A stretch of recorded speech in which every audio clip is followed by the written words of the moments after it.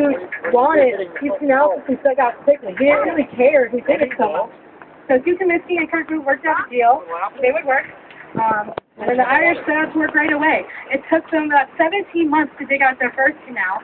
Um, if you imagine, if you were Hugh Cummiskey, you're an Irish immigrant, you're probably already tired after all that walking for one Oh, I And then you meet Kirk Boott. And I'm, after that, I'm gonna go there. you need to dig out a ditch that's going to be a mile and a half long. I know a little baby comes by here. 10 feet deep. Holes in there. Swampy, right?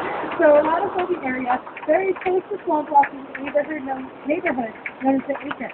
Um, group, you know, despite paying them five dollars a day, he thought, well, Brady What? Irishmen need a place to live, so I'm going to give them an acre of swampy land to live on. Okay. And that became the Acre, um, which the neighborhood is still known by that name today.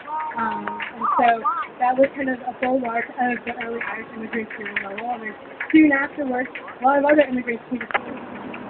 So next year you're gonna was buy. officially incorporated in 1846. Yeah. Can I go with you? Maybe.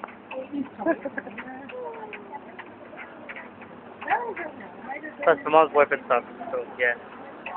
Like my, my mom's boyfriend's a jerk. So I just want to drive. What? Yeah, walk to New Hampshire. Well, I can. Oh, you're gonna open the gate. No, I don't think so. Oh, nope.